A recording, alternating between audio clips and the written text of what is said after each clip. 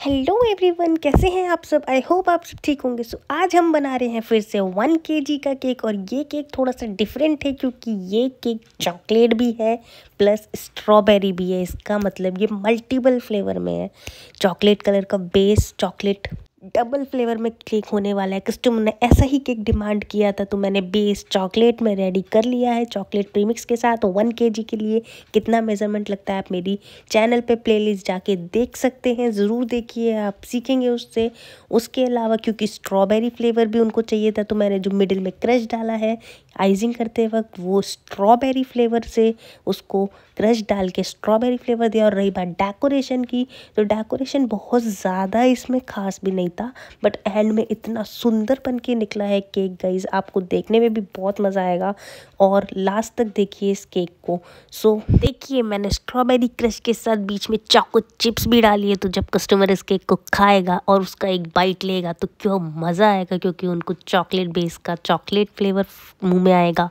Strawberry crush का, strawberry flavour मुँह में आएगा और जो बीच में चॉको चिप्स आएँगे गाइस बहुत मज़ा आने वाला है। उसके अलावा अब चल रही है आइजिंग और आइजिंग देखने में और करने में तो मज़ा जो है वो आप सब लोग जानते ही हैं।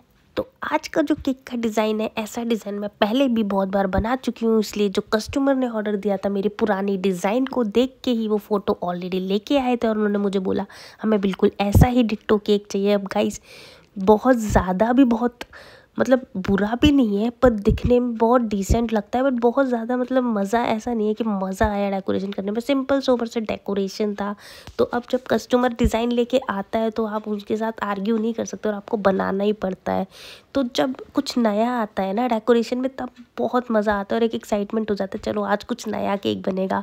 आज आप लोगों के लिए भी कुछ नया मैं दिखा पाऊँगी बना के बट ऐसे नॉर्मल जो डेकोरेशन वाले केक आते हैं ना, उसमें तो फिर ठीक है आता है ऑर्डर तो बना के तो देना ही है ना गाइस तो अब देखिए मैंने चॉकलेट इसमें जो मेरी आइजिंग जो क्रीम थी उसमें मैंने हल्का सा चॉकलेट कलर डाल के, हल्का सा ब्राउनिश क्रीम को अपना कर लिया था।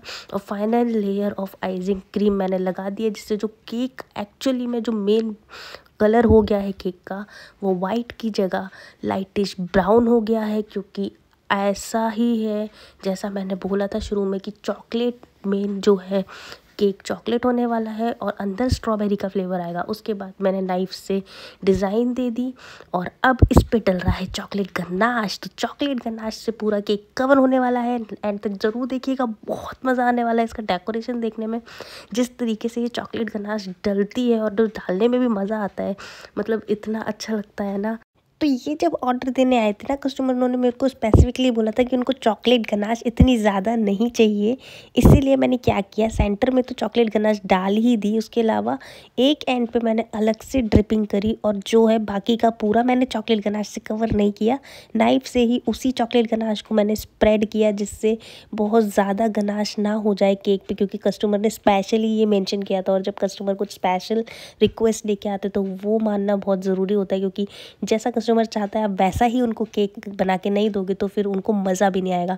तो देखिए, एक तरफ़ तो मैंने ड्रिपिंग जो है अपनी पाइपिंग बैग में जो गनाश थी उसके थ्रू ही कर दी। दूसरी तरफ़ जब मैंने नाइफ से चॉकलेट गनाश को स्प्रेड किया तो ऑटोमेटिकली जो एक्स्ट्रा गनाश थी वो साइड से ड्रिप होके गिरी और ड्रिपिंग अपने आप बन गई। इसके बाद क्या था मैंने इसके बाद स्टार नोज़ल से उसमें अपनी विपिंग क्रीम वो जो मैंने लाइट ब्राउन कलर की कर ली थी, वो मैंने अपने स्टार नोज़ल लगा के पाइपिंग बैग में भर ली और चारों तरफ़ से केक को स्टार्स बना दिए बड़े से और उससे कवर कर दिया। तो मैंने इक्वली जो है एट इसमें स्टार नोज़ल से स्टार्स बना दिए। इसके बाद क्योंकि चॉकलेट केक था, उन्होंने बोला था स्पेशली कि इसमें आप कॉइन वाली चॉकलेट लगाइएगा क्योंकि वो ऑलरेडी फ़ोटो लेके आए थे मेरे पुराने वाले केक को देख के। तो इस डिज़ाइन में उन्होंने बोला था कि आप चॉकलेट कॉइन्स ज़रूर यूज़ करिएगा, क्योंकि ये वाले जो चॉकलेट होती है ना जिन पे गोल्डन कलर का रैपर होता है, ये बहुत ज़्यादा पसंद आती है बच्चों को और क्योंकि बच्चे का बर्थडे था तो चॉकलेट देख के तो बच्चों को वैसी एक्साइटमेंट होता है कि जब केक कटेगा उसके बाद ये चॉकलेट किसको मिलेगी, किस किस के बाद। अब सारे बच्चों को ये बहुत ज़्यादा क्रेज़ और एक्साइटमेंट हो जाता है कि केक तो मिले ही मिले, उसके बाद जो ये चॉकलेट है वो हम सबको मिले। उसके बाद मैंने इसमें दे दिया नीचे बॉर्डर सेम अपनी ब्राउन कलर की क्रीम से पाइपिंग बैग में भर के। देखिए कितना प्यारा लग रहा है। वही उसमें मैंने स्टार नोज़ल लगा रखा है। धीरे धीरे मैंने अच्छे से निकाला और पूरे अपने केक को बॉटम से बॉर्डर दे के डेकोरेट मैंने कर दिया। इसके बाद मैंने इसमें हैप्पी बर्थडे का टॉपर लगा दिया और इस बार टॉपर खड़ा ना करके लेटा के लगा और ये है मेरे केक का final look so guys comment करके प्लीज़ बताइए कैसा लगा। लाइक करिए शेयर करिए ज़्यादा से ज़्यादा मुझे सपोर्ट करिए। Thank you